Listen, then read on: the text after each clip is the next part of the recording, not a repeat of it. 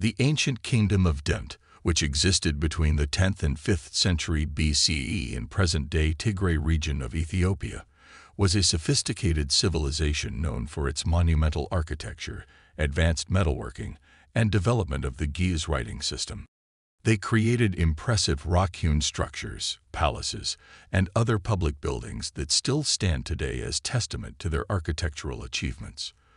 Their metalworking technology was highly advanced and allowed them to produce tools and weapons of high quality, which played a role in the economic and military power of the kingdom. They traded with neighboring kingdoms, and their metalworking technology was highly sought after.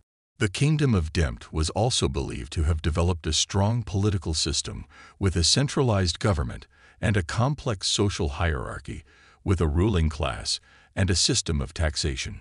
Overall, the ancient kingdom of D'mt was one of the most advanced civilizations in Africa during its time and played a significant role in the development of the region's culture and history.